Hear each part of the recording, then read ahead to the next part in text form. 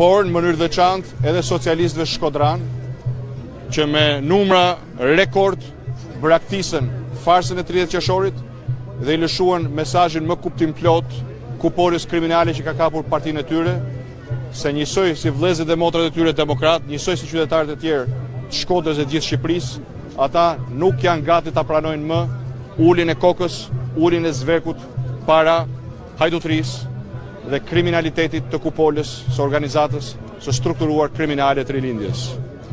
Së dyti jam këtu për t'ju thënë të gjithë shkodranëve se për mua, për Partinë Demokratike dhe për opozitën, refuzimi i Edi Ramës dhe regjimit të tij me 30 qershor, shumica Rama ik Është mbi të gjitha motivim dhe përgjegjësi për ta kthyer këtë votë masive për largimin e këtij regjimi antikushtetues, antipopullor dhe antikombëtar në një votë shprese dhe besimi për një projekt ndryshimi.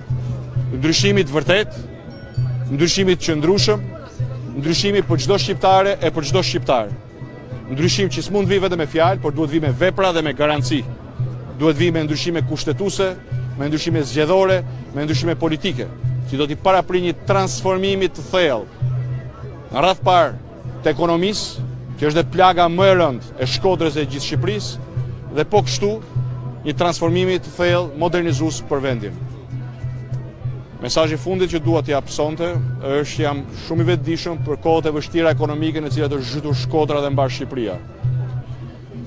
Nuk mjafton të themi që kjo është një pasojë e qeverisjes së dështuar, të papërgjegjshme, të korruptuar dhe kriminale të Edi Ramës.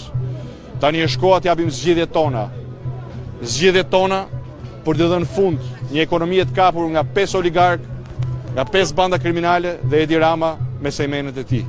Pra për të çliruar tregun, për të çliruar konkurrencën, për të ulur taksat, për të ulur dhe jo rritur, siç ka bërë në plan Edi Rama, çmimin e naftës, çmimin e energjisë, për t'i dhënë fund monopolizimit dhe kapjes së ekonomisë nga të njëjtat interesa që kanë kapur parlamentin, që kanë kapur politikën, dhe për t'i kthyer shqiptarëve përmes lirisë dhe demokracisë të drejtën dhe mundësitë për të jetuar dhe punuar me dinjitet.